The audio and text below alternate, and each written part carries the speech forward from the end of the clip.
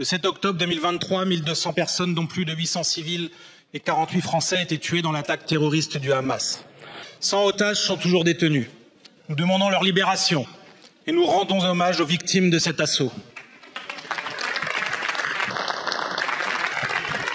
Comme nous rendons hommage aux victimes de la guerre totale menée contre le peuple palestinien par le gouvernement Netanyahou.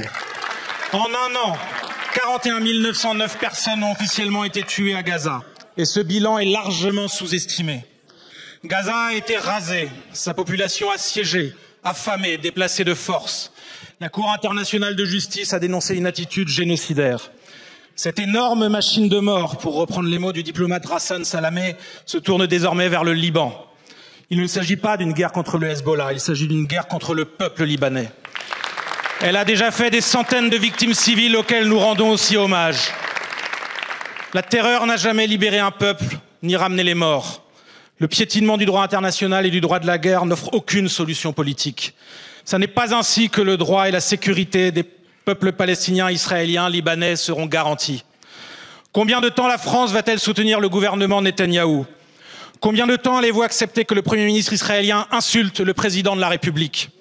Combien de temps allez-vous attendre pour planifier de vraies mesures d'évacuation des Français du Liban qui le demandent?